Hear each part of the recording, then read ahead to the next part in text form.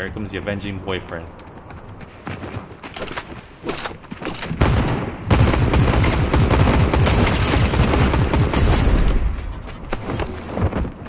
Get out of my yard!